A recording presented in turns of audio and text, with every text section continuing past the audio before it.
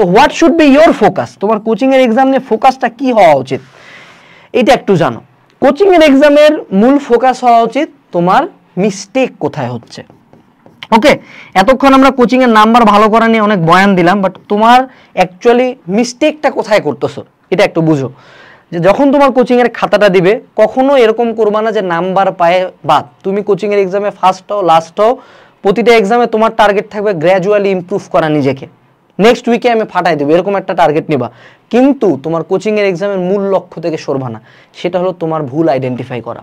তুমি কত পাইছো, তার চেয়ে বেশি ইম্পর্টেন্ট হইল তোমার কি কি ভুল গেছে।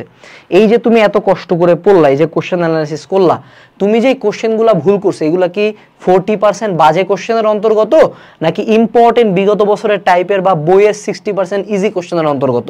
যদি বইয়ের সিক্সটি পার্সেন্ট ইজি কোশ্চেনের অন্তর্গত হয়, তাহলে এগুলো আমি কেন ভুল করলাম এটা আবার রিভাইজ করতে হবে। ওই ম্যাথটা আরেকবার করতে হবে। এটা এনশিওর করতে হবে।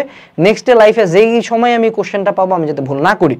এবং যেগুলো ফোরটি পার্সেন্ট বাজে কোশ্চেন সেগুলো যদি মনে হয় যে না, এটা আসার মতো this is a very important topic এই থিমটা আমার জানা উচিত। তখন ওই জানা থিমটাও পড়বা। তোমার মূল টার্গেট হওয়া উচিত যে ভুলগুলা খুব ভালো মতো শুদ্ধ করা। তোমার প্রিপারেশন স্ট্র্যাটেজিটা ওখান থেকে ঠিক করা যায় না, ঠিক আছে? এই কোচিংয়ে এইবার প্রথম উইকলিতে আমি ম্যাথ বেশি ফোকাস করছিলাম, আমি দেখি ফিজিক্সটা ফোকাস করে দেখি। তোমার নিজেকে জাজ করার এক্সাম হলের প্ল্যান বানানোর টাইমই কি? এই কোচিংয়ের এক্সাম তো টেক থিংস সিরিয়াসলি এবং এখান থেকে অ্যানালাইজ করবা।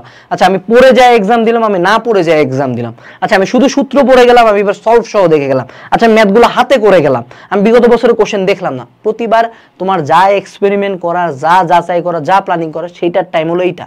So that is the main focus of year coaching exam but একটা ভালো কোচিংয়ের পজিশন তোমাকে অনেক দূর আগায় নিবে।